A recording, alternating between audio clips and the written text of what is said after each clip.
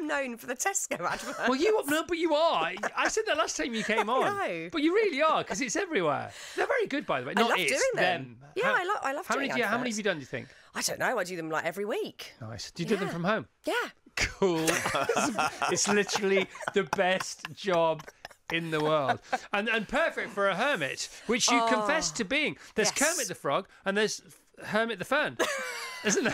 Fermit the Hermit. Yeah. That is me. I love being at home. Yeah. I love being at home. And sometimes you have to consciously punch your way out of your own paper bag to get out there, don't you? I do, and I do realise sometimes that I need to push through like discomfort boundaries and do something different. But I think, you know, all of us sat here now, and there'll be many people listening to this, have very social jobs and we talk a lot to people and Too much. I need to yeah, be I need to retreat and be in solitude, which is also quite hard in my house, but at Yeah. least I'm home. So yeah, I need that balance. Yeah, footballers don't play football all day.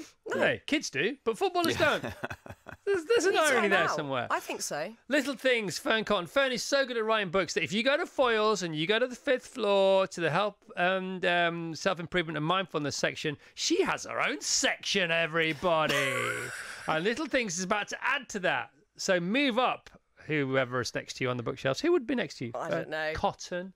Oh. Oh, Deepak Chopra. He'd be. Oh, he'd have to move gosh. over. No, he gets a mention, doesn't he? Deepak more room. He needs all the shelf space. He's the best. Yeah, you podcasted with him. So, so the book is wonderful. It's a book full of thoughts, uh, little things that could help in a very sort of tiny habits, sort of, sort of um, atomic habits kind of kind of way, but a, a softer, gentler uh, offering than those, I would say. Also, there's the A team. You know, there's the A team. There's Hannibal and his mates. You've got the S team. You've got the stress team that you've talked to, haven't you? You've got your mates on board. Yeah. Um, so you got your actual mates IRL. you've got professional mates that've been on the podcast. So um, straight off the bat, a couple of your friends get a mention. Um, is it Abby? Abby, wonderful Abby. Yeah. Mm-hmm. she's one of my friends and neighbours, and she's got a beautiful family. She's got twins, and one of her twins has cerebral palsy. And of course, there are many studies and stats that show that parents of um, children with disabilities have the most sort of prolonged stress. And she gives some brilliant coping tools that she uses to deal with the you know, just daily stress of having a very busy family and Yeah. hospital appointments and um, and everything that she has to go through. So I was so grateful for the for the interviews in this book. Yeah, and it also gave you this reason not only to to recount podcast conversations that you had and, and transcribe those and print the highlights of those in the book, which are supremely helpful from absolute experts, but to talk to your mates who you've been with for lots much of your life about something that you. And you're you're a talk. You're happy to talk about this kind of stuff, but but even you you hadn't don't. broached these particular boundaries. No, I think you? sometimes you you sort of bypass the obvious with friends, don't you? And you Fran, don't say. Fran was the other one. Oh yeah, Fran. So Fran's one of my oldest friends. We've been friends since we were five. Yeah. And Fran is an air steward, and obviously, when you have a public-facing role like that, and you're dealing with customers and travellers, Expectation. Yeah, and you, you you know you end up being the brunt of someone's bad journey. Yeah. And Fran's got some again really good coping tools that she uses to deal with that and to kind of leave work behind her at the end of the day and let things go. So yeah, each interview is very valuable. I have a friend who stores up his stress until he goes on holiday so he can just vent it at the airport to anybody and everyone Oh, that he comes across. yeah, he literally he sees Don't an go airport. on holiday with him. It's- No, I did once. It was Oh. awful. I went, wait a minute, nothing's going wrong here. And he was like, I didn't recognise him. I thought, oh, and he's like, this is what he does. He stores it up all year. He's the nicest guy in the world when he's not in an airport. No, that's not great. I mean, by all means, I guess sort of store it up and then let it out by like punching a pillow or screaming. Just not a into, person, yeah, metaphorically the or forest, actually. but not on other people. Uh, you asked straight off the bat. This book, by the way, Little Things, Fearne Cotton is what we're talking about. Uh, straight off the bat, you asked the difference between stress and anxiety. Some people think there is a difference. Some people think there isn't a difference. Um, but your first guest, who you Jud talked Brewer, to, Dr. yeah. Jude. Jud. Sorry, sorry, Dr. Jud. Yeah, uh, says yes. Stress is more in the moment. Anxiety is sort of future based. Yeah, and there's sort of there's not a clear participant with anxiety, whereas there usually is with stress. So we can usually pinpoint a cause with stress and say this is stressing me out. Whereas Yeah. with anxiety, it can be quite um, ambiguous and you, you can't quite pinpoint it, or you think you can, but actually it's probably a whole host of reasons Yeah. you're feeling anxious. So, so the different chapters cope with different aspects of stress, and then at the end of each little section, there's the little things section because the book is called Little Things. Little things to help with overwhelm. You have this this chapter on this these sort of section on overwhelm. Not so much chapters, which is good because they're not as big. They're not mountains to get through. No, I didn't want any of it to be because look, everyone's stressed. Everyone's had extremely stressful situations happen in their lives. Lives, and all of us are dealing with just micro sort of stress throughout the day. Yeah.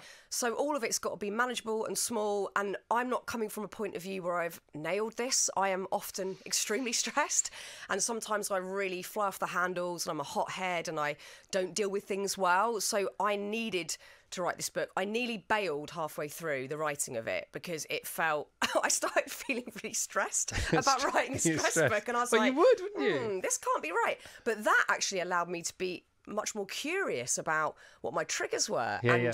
you know you have to go go back to childhood to some extent Yeah. where how you were modeled coping with stress how you react to it versus respond to it and that's quite difficult at times and can be quite humbling because you've got to also look at how much autonomy you have over it. Like, yes, there are things that are plain stressful and there's no getting around that. But I think all of us have a little bit more agency over how much stress we're letting in and how we're coping with it. And none of us want to necessarily look at that because we just want to it's the creeping stress. I mean, you know, Yeah. if you if you have these big stressful situations like illness or financial risk, of course they're stressful, but you're sort of brought up uh, expecting those to be stressful. Your mum gets to look, and you have a big chat to your mum in the book. I do because she, my mum had polymyalgia, which is a very uncomfortable um, so glad problem you said to that. have. I was rehearsing that word all last night in case I had to ask you. My mum used to call it uh, Polly. Uh, Polly's playing Yeah. up. So it's very painful, inf- inflammatory disorder. And my mum's pretty aware that that was brought on by stress. And my mum had very sort of prolonged stress for a long period of life, probably from childhood actually, and a lot of it undealt with. And she's now got to a point where she's not on steroids anymore. She's pretty much pain free. Her mobility's really, really good and she's changed a few things in her lifestyle again little things like made some tweaks and lowered how lowered her stress but also looked at how she manages it. And she's in great shape. So it was really interesting talking to her about that because she went through like five six years of you know horrible pain and discomfort. Yeah, yeah, yeah, yeah. Um, it's funny that you talk about the fact you're stressed and you're a hothead. I've known you for ages now, years and years. It's a real pleasure to know you, by the way. oh and you And um, I've never seen you like that. And Oh, it's yeah. funny because no, clearly you are, and I believe. I'm not saying I don't believe you. this whole stress book is a load of nonsense. Um, I completely believe you. But what's testament to the work that you've put in is that I haven't seen you like that. So you Mm. feel like that a lot, and you are like that a lot, and that's how you get up and you exist. Um, but because you put the work in, it's okay for the rest of us. You're taking the burden of your stress off the rest of us, and that's what we should all be doing. Well, look, I hope so. I think, you know, sometimes, yes, there's certainly been moments where, like, coming here today, I didn't have any anxiety and I feel really calm on air. But there was a period, say, three years ago, where I was in the thick of panic attacks and the thick of anxiety. And I probably came on this show in that state. And I managed to look relatively calm to everybody, but inside, I was freaking out. And I was freaking out before, I probably hadn't slept. And then I would stress and replay everything that I'd said for about four hours afterwards That's the that's the, the worst. worst. So I've got to a very good place with that in ways. I still wouldn't feel comfortable presenting a live TV show, which is so weird. I've done that with you Yeah. without any stress, but because of certain situations and periods of panic, I still wouldn't want to put myself in that position. So that You- might be in the future. but you No, don't I don't, I don't want to at the moment, but maybe in the future there's more choice around that if I keep doing the work. But there are still situations where it could be tiny things like I'm late on the school run, like micro stresses where I can feel that stress building Yeah, yeah, and yeah. at some point, you know, I'll snap and it could be at my poor husband or it might just be, you know, I'm not dealing with things well and I abandon the project I'm working on. It will come out in other ways. so I yeah, think yeah. there are some You parts set of my fire life to it in a way. yeah, yeah. So I think, but then I'm also pretty aware that if, you know, I go for a run or if I, you know, do a workout or I get it physically out Get of into me, the body. it'll be better. Get it into the physical so it can come out of the physical. Yeah, If you, yeah. And and the thing about feeling stress and, and f- having a sense of it building up, well, that's the beginning of, of the end in a way because the fact you are feeling it as opposed to it just happening and you're not even feeling it, it's like the tremors of an earthquake before the earthquake happens. And then the next step, you know all this, the next sort of mile along that road is being aware of it as it's happening. So you're no longer feeling it, you're aware of the fact you're feeling it. Yeah. And then you're aware of the fact that you could be aware that you might feel this stress going into a certain point, and that's when you already just the recognition of that moment in your life and that recurring situation that happens all the time every day don't hope it doesn't happen expect it to happen that's when you can give yourself permission to breathe again Yeah. and it, not that you've done anything about it other than begin to recognize it I you've opened the curtains and you can see the view and you know what it looks like Totally. I think awareness stops it going into chronic stress. Yeah. I think when we're not aware, that's where we normalize it and we're just like, well, this is how I feel all the time, every day. Yeah. And then chronic stress, as my mum talks about in the book, can turn physical very, very quickly. Yeah, yeah, and it could yeah. be in a small way. Like I was talking to you guys before, I had a sty in my eye over Christmas. And I'm pretty sure I pushed myself way too much at the end of the year. And I was stressed and I wasn't looking at it. I was pushing through, no rest, must do more. And then I had this huge bug eye for about a month. and it will come out. It will come i out physically. spy with my little sty exactly. my rather A load huge- of stress. swollen eye. Um, often we, it's very helpful to zoom out. It's very helpful to zoom out and to get ahead of issues as they're, you know, they're going to come your way, and perhaps they won't come your way, but at least you're ready for them. You've positioned yourself right. They say an idiot in the right position can look like a genius, and a genius in the wrong position can look like an idiot. And one way to do this is to zoom out to 10,000 feet, but you zoom out a lot further than oh, that. Oh, yes. I love that bit. I was like, oh, I might zoom out a little bit more. Keep zooming out until the How far would you go? until planet Earth is just in a mass of other little bright dots. Yeah. Like keep going and keep going. I think we forget that we're sat on a floating ball in infinite space and that one always helps me out. Like I am just a speck of nothingness on another speck of nothingness in infinite space. Yeah. That helps. Doesn't mean you're nothing. Doesn't mean you're nothing. Because you, you are everything and nothing. Completely. That's That's, a wonderful isn't paradox to put to us because we are. And if we can get that perspective, I think all the micro stresses of I'm late, I messed up, I shouldn't have said that thing I said, which we all do. I think we assume that we're the only ones.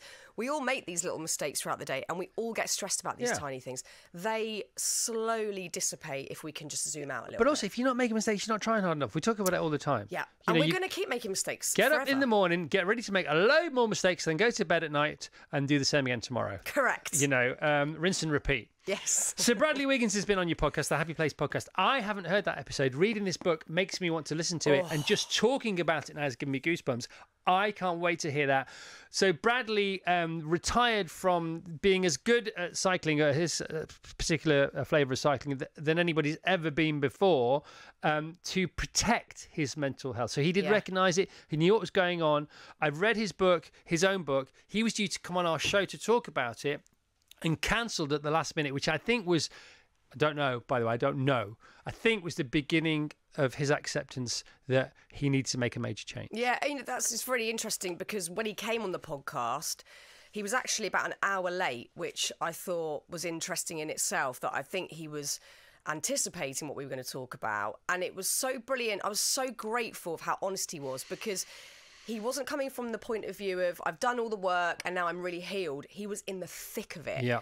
And he was so brilliantly vulnerable, which I think is really important in terms of the male context of talking about mental health Yeah.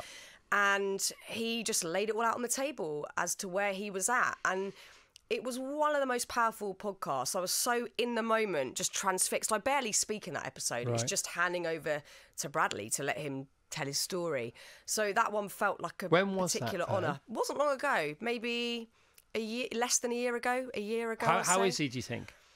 I don't know. I don't know. I think he's just doing the work, and you know, he's got the awareness that Yeah. certain things don't work for him, which is a huge part of Well, it. Well, you know, being aware, I mean, it's, it's more than half the battle. It is. We're all fascinated by your fag free fag breaks. Yep. Tell us about those. Well, I don't smoke and I don't advocate it, but I think the joy of the joy for smokers is you get to walk out of your place of work or your home and have five minutes outside, and w- none of us do that unless we smoke. So.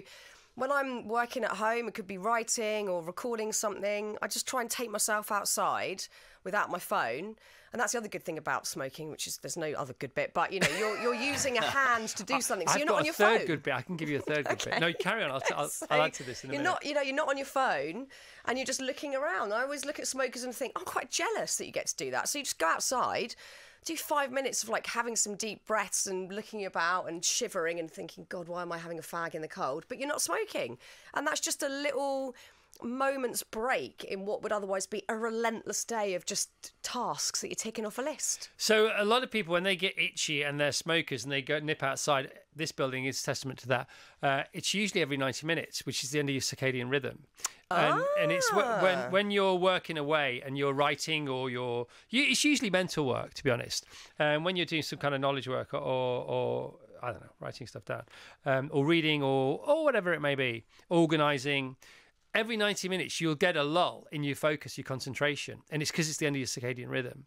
And you are useless at that point. And that's when people who don't smoke go and make a cup of tea or go and have a chat or have a chocky bicky. That's when temptation creeps in. Yeah. Because you know you're not at your, you know, you don't know you know, but you know that you're not at your best. You think, this is all pointless at the moment.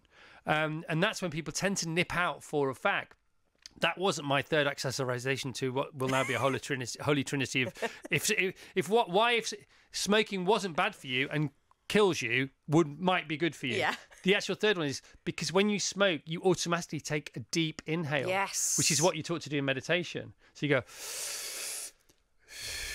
especially on the first drag of a fag. It's these long inhales and exhales. So it is it is vicarious meditation that also unfortunately happens to kill you. Yeah. So just So- do it without the fag. Just get just do it without the fag. The fag Yeah. it's brilliant. Isn't it funny that that was something that, you know, 10, 20 years ago, it was completely accepted and nobody questioned. And I was like, I'm just popping outside for a cigarette break and Yeah. everybody would allow you to do that. And if you could rebrand that as like, I'm popping outside for a mindful a, break. circadian, a circadian a rhythm circadian break. break. And, you know, because if you said to people, I need to take five minutes, people might, oh, they need to take five Yeah, minutes. oh, you God, know, what's going on with- oh, what's Yeah, going on? yeah. Oh, is there something going on? Yeah. Whereas if they said, I'm going out for a fag, go, all right, see you in see ya. five. Yeah. Um, Mad.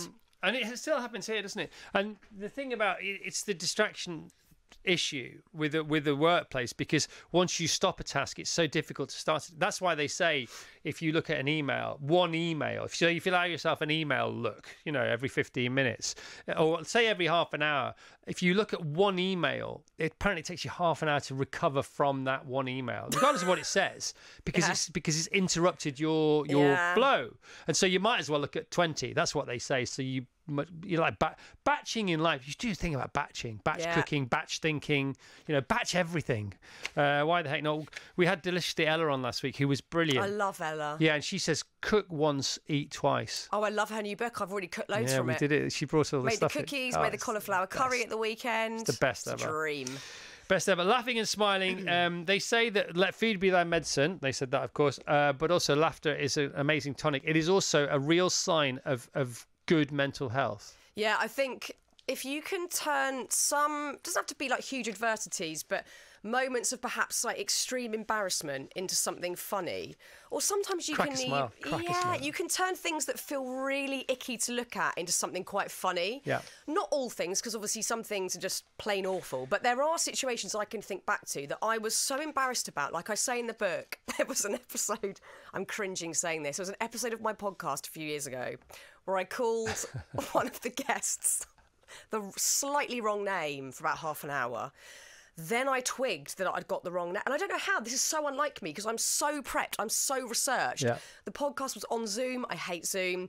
It was at about eight o'clock at night. Cognitively, that's not my time for brilliance. It's nobody's time. I was all over the shop and I, for months, beat myself up about this. And now I can talk about it in a jovial way with levity Just and laugh. Just, Just- about. just whilst My, about. my fingers clench into my own oh, oh, palms Oh, so you you sort of blinked nervously then as you said it. flinching, talking Yeah. about it. But I think you can do that a little more often. And usually it's telling someone else the story and Yeah. they laugh and then they share a story and they laugh about one of their mishaps. That takes the the heat and the spike out of those situations and the there was there was a guy who was giving this um, lecture on oh, I can't remember what it was, but it was to the U.S. military, and it was about like life hacks and this that, and the other. And he he was a very young uh, professor, totally qualified, but he's literally in front of all these these sort of these these crusty, rusty, concrete-hearted generals.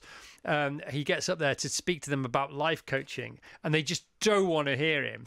And so he starts off. He, he he says, "Look, I may look about 12. Okay. And that didn't work because vulnerability is your superpower. Yeah. Brené Brown, you know, all this kind That of didn't stuff. work. Um, didn't work. And you thought, oh, that's not worked. And there was just silence. And then one of the generals smiled and said, well, maybe 13. and then everybody laughed, and he's okay. So We're in. for vulnerability, vulnerability slash humour. Yeah. Uh, you've got this going on today. Vassos is giving a talk today later. Are What- you? What's your three tenets of your talk? Uh, we have dedication, drive, and determination. Oh, Yeah. three Ds. Yeah. at Any any tips for him talking today? Oh, you know what you're doing. Just do it. Oh, thanks. Yeah. Just be you. You you do it all the time. It could be your third D. Just do it. What is Just it? Go do on. it. Add it on. Dedication, drive, determination. Just do it. Yeah. Perfect. Yeah, nice. Quickest talk ever. Good I slogan. think that. the only thing that stands in Just our do way. it. Just do it. Good Yeah. slogan. The, the only thing that stands away with any of this stuff is the horrible little acerbic voice in our own heads. No one else is thinking all these awful things about us Nobody judging cares. us. No one Nobody's cares. thinking about us at all. No one cares. Um, do you know that great phrase? Um, it's none of my business what other people think about me. Yeah, it's the best. The best. We've so had to learn that useful. one. We've It's had so to learn useful. it. Yeah, Yeah, we went to boot camp for that one. Didn't we, we sure did. we went to Hell Week for we that one. We went to hell. It was, it's still awful. Tell us about your anti-stress food cupboard. I love your anti-stress food. Yeah, there are, there are a few foods that obviously do things that can help us in many ways. I mean, I am plant based. There's lots of goodness there. Ella would have talked about this last week, eating lots of, you know, protein rich foods like chickpeas and pulses and all that old fashioned, boring, but lovely stuff. Um, so I think, you know, reducing sugar and caffeine, all the obvious things are always going to help with stress. And just being mindful of eh, some people when they're very stressed will not eat at all and that you know might lead to a huge sort of blood sugar crash or uh, my tendency is to eat a lot of sugary snacks. So if I'm feeling stressed, I'm hmm. comfort eating. I'm grabbing biscuits and I'm needing sugary mm, things. And again, goes back to awareness of just going, this probably isn't going to work for me. I'm going to feel even worse after I've done this. So Yeah. again, it always just goes back to that awareness of why you're doing it. Yeah, so if you can do things that are good for you but are hard and you can build in reward systems into the moment, you've got to build into things that are bad for you, habits that are bad, ha- bad habit energy. You've got to build in bar- barbed wire Yeah. in the moment, haven't you? Yeah, so Going- Jud Brewer, who I interview, he talk, he's a habit expert. So Yeah. he talks about the feeling like the crest of a wave where you like he deals with a lot of people that do smoke and they have that feeling of I can't I can't cope unless I have a cigarette right this second. That feeling will dissipate. It does for anything if you've got an urge to look at your phone, to have another glass of wine, to online shop when you don't need to. More food. We have that feeling, we have that feeling, and then that crest just st- slightly dissipates and dips Yeah. again, but we don't give it the chance. We are impulsive in that moment. So he does a whole brilliant section on habits. And when we're stressed, we absolutely go for our bad habit. That's the first thing that all of us do because it's easy. And when, and when- and when we're, you know, when we haven't really got to grips with even uh, admitting to ourselves that we have a bad habit, the net, the bad, the next bad habit energy is on a straight road, a sort of autobahn, a, a speed limitless autobahn that we're already on. Then when you get a sense of it, there's a little kink in that road, but it's there's still no turning. Then there's a sharper bend as you as, as the habit energy changes and it gets worse for you. So you're cruising, think life's under control, and then then there's a sort of sharper bend in the road, but there's still no alternative to being on that road. And then you come to a T junction and you can pause, but you still turn the wrong way. Then you come to a T junction and you stop and you don't turn at all, and then you turn left instead of right. And if you can turn left instead of right, that gets you off the crest of the wave. Yeah, so he talks about don't set long term goals like I'm never going to do that thing again. Yeah. Because none of us stick to that. We just think, well, what's the point? I, what is the actual goal here? Whereas Yeah. if we just work daily and in the moment of riding that wave, you then notice, oh, I haven't smoked or online shopped or And I gambled feel or whatever for a week and I feel better and it's that and it's noticing the reward system in that it's She's genius she? oh it's not me it was Jud honestly I'm no, just I know, copying but what you're the said. conduit, and he won't mind you saying that. He won't mind me saying that. You're the conduit. You know, the, the ha- for for the to get salt in your fish and chips, it's got to be in the cellar. Well, I need to learn this stuff. the You know, cellar. I'm I'm seeking keep your it. cellars in the cellar. Um, oh, we're almost out of time. I love, I love the open and close theory, which I'd forgotten about. Because you, the reason all these things are called practices is because if you forget to do them for a second, you can then forget to do them for a year. Yeah. Isn't it mad? If, Yeah. you, if you can meditate every day, if you meditate like, or, or whatever you do, I know I say meditate too often, but if you sit, I meditate at six o'clock every day and at six a.m. and four a, four p.m. every day. The reason you you, you set it and forget it is because if you don't and you forget it once because you haven't set it, you can literally go for a year without remembering. Because that's how sort of that's that's in a way if you can enhance that, harness that. That's that's our superpower. Yeah. But it can also be detrimental to our well-being if we forget that we are that haphazard in what we think is the most organized of lives. All of us are. We're all the same. We all lean on bad habits. We all can't be bothered at times. We've all got to put. We can't be bothered when we Discipline can be bothered. I know. That's the worst one. you know, I'm trying to be really bothered. Oh, but I forgot for a second. And then you look like somebody who really can't be bothered ever. Yeah, we're all on. It's a thin oh, veneer. Anyway, the it? open and close thing. So I forgot about the open. I used to live by the open and close thing, and I forgot about it. So I read your book. Yeah. So if things are going well in the conversation, at the gym, you know, at the sweet shop, on the bus, in bed, asleep, having about any second of any day of any month or year of your life, then your your your heart and you are open, and then the second you feel at all antagonistic or anxious about anything or uncomfortable, it immediately closes, and there's no in between. Nope. We're totally open now, you and I. We're open now today. Sometimes we're not during links. Sometimes we go close, close up, and then we got to. One of us got to open again, or, you know. But just explain the open and closed theory from your point of view and how people can deploy it now. Well, often when we're stressed, it's because we are extremely closed, and we'll and we're all bespoke in that way. So for me, to feel really open, it might involve being out in nature, like a very obvious one, but you know, seeing a very beautiful scene in nature. Seeing a sunrise, or it could be I've got a new little kitten, so playing with little Frank. you actually? Yeah. Oh, good for you. So in love with him. He's a rescue kitten. I feel extremely open when I'm playing with little Frank and I'm in the moment. Frank, and we've got another cat called Simon. Um, but that is a good example of me feeling very open. Or when I'm writing, I'm really open and I feel really, al- it's a sense of feeling very alive and very in tune. And then we all know the moments where we feel very, very close. So for me, it's probably, you know, scrolling on social media too long or someone being rude out of the blue that I wasn't expecting or seeing injustice somewhere. I close up and I, it's a physical tension, it's a mental tension, and it's stress at the end of the day. So I sort of give a little page there where you can write down, just notice in your day things that made you feel very open and alive and connected, and things that make you feel very closed and small and tense. And I think, again, going back to awareness, noticing those things gives us a bit more autonomy over, oh, I'll probably do that more. Like today after this, I hope to squeeze in going for a nice walk in the park before I crack on with the rest of my day and having that openness and those little moments they really count i think they add up Well, as I say, there is the world famous Atomic Habits by James Clear, and then there's BJ Fogg's Tiny Habits, which, to be honest, Atomic Habits was sort of born out of. Because do you know that James Clear used to be a student of BJ Fogg's? no Yeah. didn't know that And then there's Fearne's Little Things, which I think is a lovely bedfellow to those two books. It's beautiful. A positive toolkit for when life feels stressful. They're going to have to get a bigger shelf at Foyles for Fearne's books.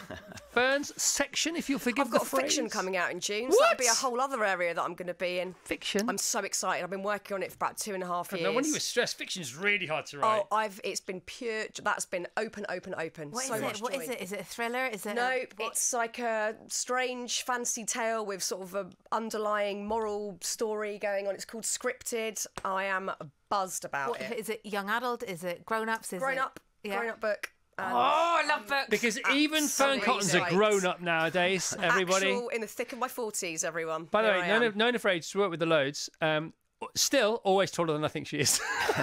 really? yeah, always. You walk in. on. Yeah, I know you got your heels on it, but you in go, I always forget how tall she is. Even at the festivals we do and all this kind of go, Why? Why? Why do I always think that? But you, I don't know, Anyway. everyone's always small in real life, aren't they? Like pop stars, you go, oh my god, they're tiny. Some are, some. Yeah, Yeah. yeah. James Blunt is.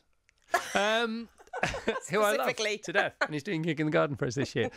So, um, well done, uh, congratulations, thank you very much from the you. almost taller than you think Fearne Cotton. Have you seen Saltburn? Uh, no, but me and my husband are desperate. Do you know what?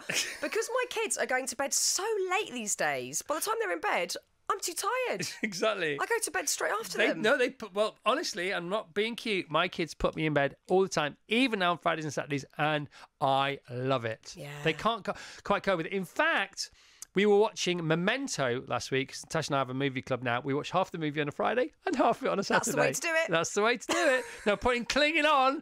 There's lost energy in clinging on, everyone. And um, and we watched Memento, which was so good. We stayed with it till 10:40 p.m. on That's Saturday so night. late. And Noah had to go to bed before us, and he thought that wasn't right all of a sudden. anyway, Saltburn, you will not be disappointed. I can't wait. He won't watch it. Why? It's not for me. Really? Why? Why not? It seems all a bit sort of twisted and dark. Yeah, that's why I like it. Hmm. I can't wait. I'm here for it. Yeah, we love it. I'm going to watch it again at the weekend. I think. Do it. Uh, Fearne, thanks. Thank you. I love coming on this show. We love having you on What the show. joy. It's always a yes. Virgin Radio.